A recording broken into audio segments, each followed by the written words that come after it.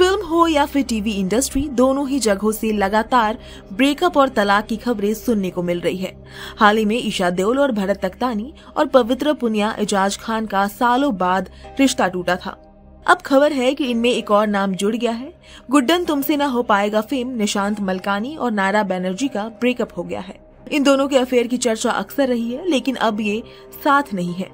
ई times की report के मुताबिक नायरा बैनर्जी और निशांत को अक्सर साथ में देखा गया है। दोनों ने हमेशा एक दूसरे के साथ फ़ोटोज़ भी पोस्ट की है।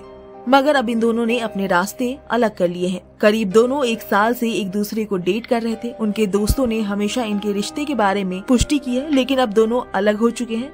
एक्टर्स के करीबी सूत्रों ने बताया कि अब ये दोनों कपल नहीं है।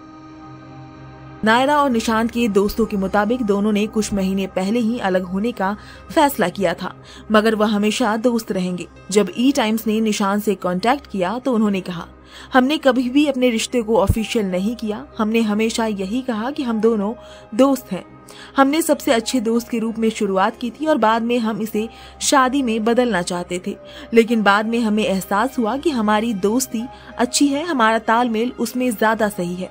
इसलिए हम इस बॉन्ड से कोई समझौता नहीं करना चाहते, इसलिए हम सबसे अच्छे दोस्त बने रहेंगे। निशांत मलकानी ने आगे कहा, मैं जानता हूँ कि नायरा को किस तरह के आदमी की तलाश है और मैं उसे ढूँढने में उसकी मदद करूँगा। जिस दिन उसे उसका लाइफ पार्टनर मिल जाएगा, उस दिन मुझे सबसे ज़्यादा खुशी होगी। वहीं जब नायरा से इस बारे में कांटेक्ट किया गया तो उन्होंने कोई कमेंट नहीं किया, वह चुप्पी साधे रही।